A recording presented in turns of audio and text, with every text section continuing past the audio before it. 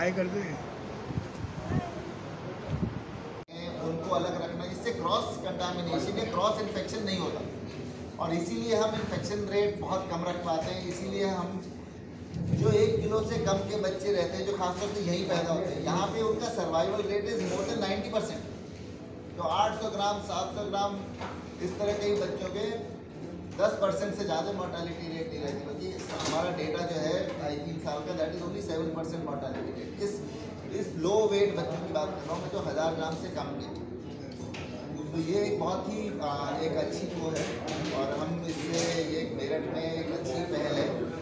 और सब डॉक्टर संदीप है डॉक्टर श्याम डॉक्टर कुमार हम सबका एक यही है कि इसके अंदर रहता है कि हम कैसे बेहतर से बेहतर अपने पेशेंट्स के लिए कर सकें और उनकी जान बचा सकें। जान बचने का केवल जान ही बचाना नहीं रहता।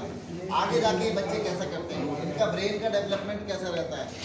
जब हम ये चीज़ें अभी स्टेज में मिनिमाइज करते हैं, जैसे सब कुछ बेड साइड हो सकती है अल्ट्रासाउंड है ईको है एक्सरे है, सारे क्रॉस कंसल्टेशन है, सब अंडर वन रूफ होने के कारण बच्चे को कहीं मूव नहीं करना पड़ता। उससे भी बहुत इन्फेक्शन प्रिवेंशन में हेल्प करता है। इस तरह के छोटे बच्चों को कहीं लेके जाना तो उसमें इन्फेक्शन का बहुत चांस और इन्फेक्शन एक बार होने पे बच्चे की बचने की चांस एकदम फिफ्टी परसेंट हो जाता है। तो prevention of infection prevention of brain की ब्लीडिंग है। जैसे पैदा होने के बाद अगर बच्चा तीन चार दिन भी कहीं रह के आता है तो उसके चांसेस ऑफ़ सर्वाइवल बड़े कम हो जाते हैं। क्योंकि ट्रांसपोर्टेशन और वहाँ का इन्फेक्शन वहाँ का फ्लोरा एक बड़ा इंपॉर्टेंट चीज़ इन्फेक्शन प्रिवेंशन के लिए आता है पेशेंट नर्स रेशियो सो कितने पेशेंट्स पे कितनी नर्सेज रहती हैं? तो वो उसको ऑप्टिमाइज करना, वो हमने उसको करा है, जो नेशनल मानक है, उसी के साथ रखते हुए पे। और वो भी हमें बहुत मदद करता है इन्फेक्शन को कम करने में एंटीबायोटिक्स कम यूजेज करने में। अब आपके बच्चों को से एंटीबायोटिक कोई नहीं चल रही, कोई इंजेक्शन नहीं आ रहा होगा, है ना? तो यही चीज़ रहती है कि अभी ये पाँच एच हो गए लेकिन इनको कोई दवा, कोई इंजेक्शन कुछ नहीं चल रहा। केवल जो एक प्रीमेच्योर बेबी की केयर होती है मदर आती है, अपने आप फ़ीड कराती है, कंगारू मदर केयर देती है, उसको ऑयल लगाती है, उसका मसाज करती हैं। जो पूरी जो एक बच्चे की ब्रेन की जो एक मॉडलिंग होती है ना बिकॉज़ मदर से बेटर तो कोई नर्स नहीं केयर दे सकती। तो मदर का इन्वॉल्वमेंट एक नर्सिंग केयर के अंदर, उसको रखना एक बहुत एक इंपॉर्टेंट पहलू रहता है। तो हम उसी कंसेप्ट को एक ऑप्टिमाइज कराते हैं कि कंगारू मदर केयर जो है, उसको यहाँ पे ज़्यादा से ज़्यादा प्रीमेच्योर बच्चे करें। और प्रॉब्लम उसमें यह आती है कि अक्सर माएँ बहुत दूर दूर की रह, रहने वाली रहती हैं तो उनको आके रुकना रहना उनके लिए डिफ़िकल्ट रहता है।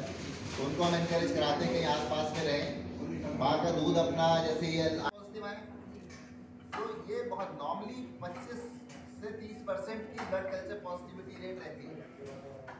ठीक है तो ज़्यादा कल्चर भेजना एक ज़्यादा सर्वेलेंस की एक निशानी रहती है कि हम बेहतर सर्वेलेंस कर रहे हैं। भाई हम भेजे जा रहे हैं कि अगर कहीं है तो हमें पता चले। और उनमें से केवल पचास में पॉजिटिव आना ये अच्छा बहुत है। एक नया ट्रेंड जो आया है बाहर से बच्चे जो रेफर होते हैं कई बार उसमें रेजिस्टेंस का बहुत ज़्यादा रहता है। तो आ, अगर वो रेजिस्टेंट एंटीबायोटिक रहती है कि भाई वो बैक्टीरिया सा है एसिडोबैक्टर और ई कोलाई इस तरह के बहुत खतरनाक बैक्टीरिया रहते हैं जिसमें सब दवाओं का रेजिस्टेंट उन बच्चों में मॉर्टालिटी बहुत ज़्यादा रहती है और अगली जो हम ट्रीट करेंगे उसमें यही बताएँगे कि भाई रेजिस्टेंट बैक्टीरिया से मॉर्टालिटी के ऊपर क्या असर पड़ता है। अभी हम पे वो पूरा डेटा नहीं है लेकिन अभी हम इतना ही डेटा कर पाए कि इन्फेक्शन मिनिमम है और मोर्टालिटी भी बिल्कुल मिनिमाइज है। सीरियस से सीरियस बच्चों को भी दस परसेंट से कम मोर्टालिटी है हमारी जो कि बहुत पूरे यूपी में प्रॉब्ली मुझे लगता है बेस्ट होगी।